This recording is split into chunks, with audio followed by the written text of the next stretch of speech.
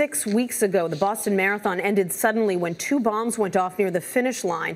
More than 3,000 runners came back this weekend to symbolically finish that race. They ran the final mile of the course. And in Ethiopia yesterday, during a visit by Secretary of State John Kerry, the winner of the marathon said he will give his champion's medal to the city of Boston.